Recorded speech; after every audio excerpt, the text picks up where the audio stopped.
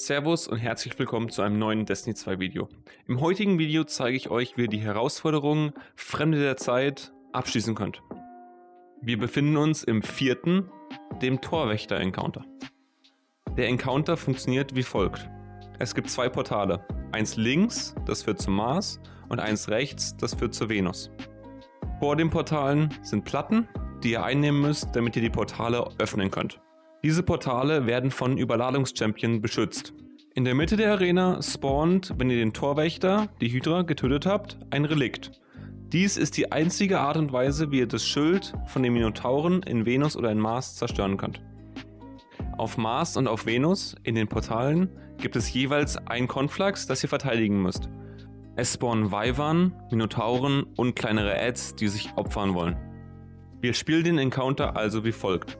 Zwei Spieler, einer rechts, einer links, stehen auf den Platten und verteidigen diese vor den Champions und vor Goblins. Die restlichen vier machen Staffellauf mit dem Relikt. Das müssen sie tun, weil wenn man mit dem Relikt durch ein Portal geht, man für 45 Sekunden nicht nochmal durch ein Portal gehen kann. Das heißt, einer nimmt das Relikt auf eine Seite, tötet dann den Minotauren, gibt dann das Relikt ab und der andere geht wieder raus. Draußen gibt er das Relikt dann wieder an einen weiter, der dann in das andere Portal geht. Das Ganze wiederholen wir so lange, bis keine Gegner mehr spawnen. Dann gehen wir in die Mitte, wo wir dann noch ein neues Konflax verteidigen müssen. Dort müssen wir dann drei weitere Minotauren und drei Wyverns töten. Dann sind wir fertig. Nun zur Herausforderung. Die Herausforderung verlangt von euch, dass ihr die Wyvern auf einer Seite und den Minotaurer auf der anderen Seite gleichzeitig tötet. Das heißt, ihr müsst euch da gut absprechen.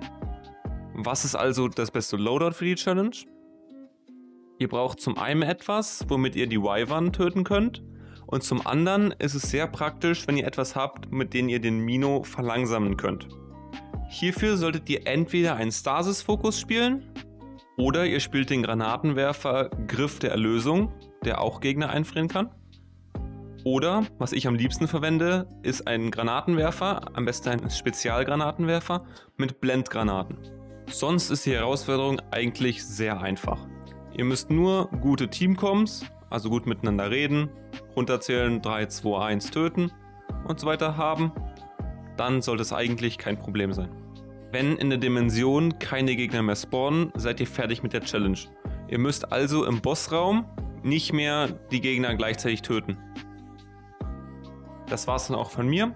Wenn euch das Video gefallen hat, lasst doch ein Like und ein Abo da. Und bis zum nächsten Mal. Ciao.